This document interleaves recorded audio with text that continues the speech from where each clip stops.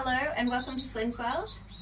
This morning I've got some fresh peas and corn and a fresh mixed salad leaf mix and uh, the birds are eagerly waiting for their breakfast. This, this morning I'm going to tell you about our wonderful news for the past few weeks. We have so many birds that have fledged uh, we've we've had such success with breeding this the last couple of weeks and we're so happy to share it with you.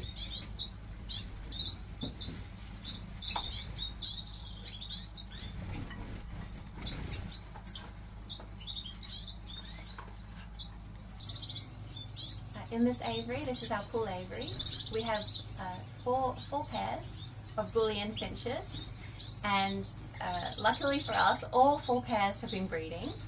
They've all got babies. And two pairs of our Gouldian finches, their um, babies have fledged and jumped the nest and are even looking to look for, make a new nest to start the next round of babies. Our parrot finches have had their second um, set of babies and they've had two fledglings this one, this round. Um, we're so happy. You know, they're, they're just a lovely little bird and they're actually looking to make another nest too. So it must be the season. And my favourite bird, the, the blue parrot there, is the scarlet-chested grass parrot, the Neophema. And they have three babies that are currently still in the nest. The mum and dad are doing such a fantastic job. This is the second time they've bred for us. The first time we got one baby that successfully uh, made it to adulthood. And this round we've got three that look really healthy and I am hoping that they all make it all the way through. Um, as you can see, the male's still looking quite bright. His colours are still looking very healthy. And I do attribute this to all the healthy food that they're getting here in this aviary. Another thing that I do attribute to our success and our happy breeding birds is the range of food that we have. We have found it best to separate um, the food into individual seed mixes or, or food types so that the birds can come and choose exactly what they want and what they need. Um, so in this big container we do have our finch mix and in this glass container here it's a egg and biscuit mix that we've mixed with a little bit of water. It's made fresh every day. Um, we have got here Japan millet, red panicum, we've got canary seed, and here is egg. I was baking this week. I put the egg into the microwave for 30 seconds, just the egg shell. Then I crunch it up and put it in here for our birds and they just love it.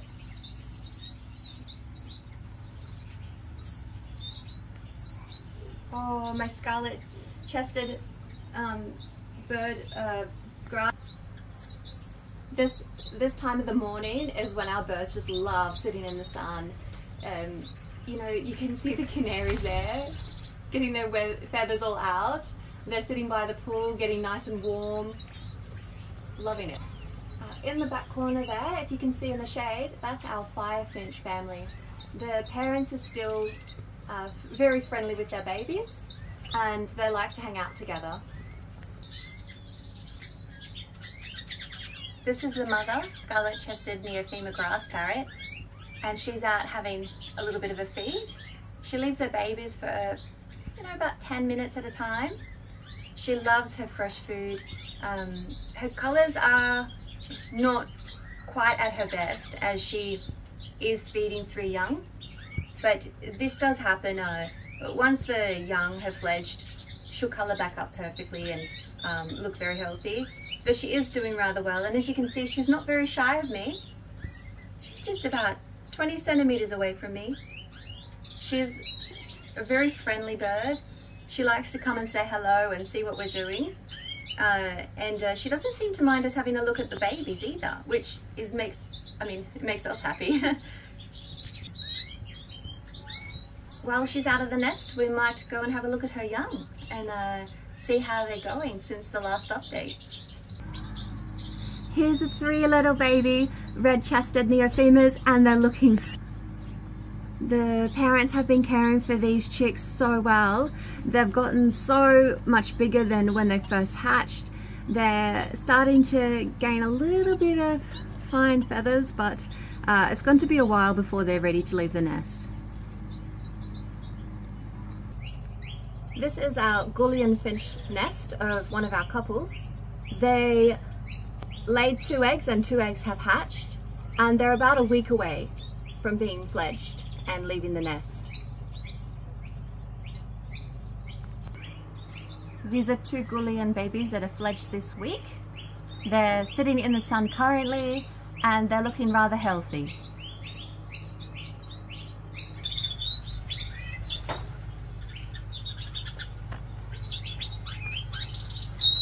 This is our parrot finch baby. It was just being fed by its mother. I don't know if we quite caught that on camera. Uh, now that I've moved away from the plate, you can see how much our birds love their fresh salad and their fresh vegetables. And that will all be gone by this afternoon.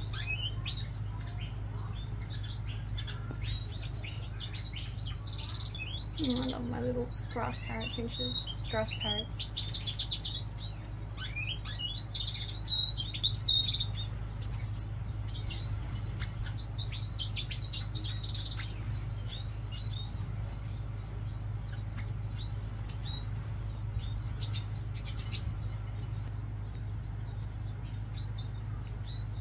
Can we talk about when the Gouldians have their chicks and they lay like the eggs are hatched, the chicks have got these dots on either side of their mouth, and the research says that it does help reflect light. So at night time, the parents can find the baby's throat to feed them. Also, there is suggestions that as the bird grows, and the dots become further apart, the parents can see which of their chicks are healthier than the other chicks and uh, which of the chicks probably need more food. There is uh, some inconclusive evidence as to why they have these strange markings on their mouth, but I think it does make sense if it does assist in feeding the young and also to ensure that uh, you know, the healthiest ones survive or that they can help the ones that are needing a little bit more nutrition. The other thing that uh, they've found as well is that the baby Gouldian chicks, they don't squawk and open their beak like other baby birds. They actually do like a rotation um, movement or a swaying motion. Uh, so it does look like little aliens in a nest when they want to be fed. Uh, it probably just makes I think this makes the Gouldians even more interesting. Uh, not only are they one of the most beautiful birds in the whole world, that the chicks are so strange and alien looking. Um, it just it just makes them more enticing to, to have and to breed and um, they definitely are a very interesting little bird. Thank you so much for watching our video. Uh, just to, wanted to reiterate that this video shows that fresh food, healthy food, a variety of food does produce a lot of healthy young. And uh, I'm so happy to share it with you. Thank you so much for watching. Um, please press like and subscribe.